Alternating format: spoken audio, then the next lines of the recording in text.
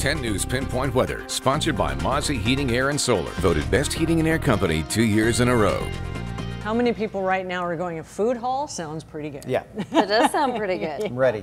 I'm ready for Get it this too. moving. Let's eat. Get the weekend started, and a lot of people, I'm sure, are already enjoying our conditions out there. Yes. Lots of sunshine as we see. We taking you live outside right now in La Jolla. No complaints, but our humidity is going up, so it's going to start to feel muggier around here, but certainly cooling off at the coast. We're already in an excessive heat warning for our deserts in East County. This is going to continue through 8 o'clock tomorrow night. High temperatures up to 115, hot and humid all the way through the end of the week, where we could see a thunderstorm or two for East County. Our mountains and our desert areas, high pressure is building over the west, tapping into some subtropical moisture, giving us that chance for thunderstorms. And speaking of tropical moisture, giving you that update on Hurricane Dorian that strengthened into a Category 4 storm just in the past hour. 130 mile per hour winds as of right now, but those are expected to strengthen even more so as this barrels through the Bahamas and into the coast of Florida, just hitting Jupiter, north of Jupiter as a Category 4 storm by Monday into Tuesday. And just as it makes landfall,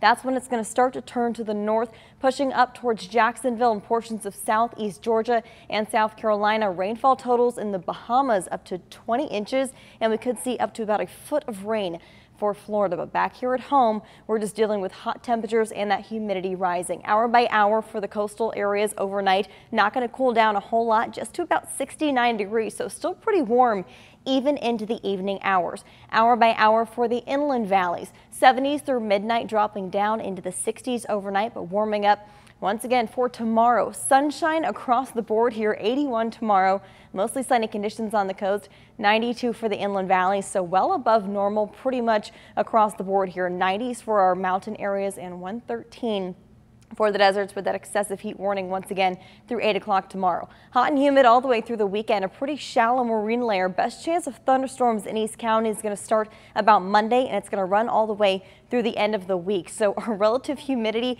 not very comfortable. 90% in La Jolla by tomorrow morning into the afternoon getting a little bit better but overall it's going to be pretty sticky out there as we continue through the weekend and even into next week. 10 News Pinpoint 7 a forecast 80s are going to stick around through Thursday cooling down down just slightly into Friday, but still going to be pretty warm and above average for this time of year. Inland valleys, the 90s are hanging out all the way into next weekend. Monday, Tuesday, Wednesday, certainly going to feel even more humid, and that is our best chance for a thunderstorm or two in the mountains. But a holiday weekend, heading to the beaches, probably a good idea to cool off. A lot of people probably already there. I'm sure. Mm-hmm. Great idea.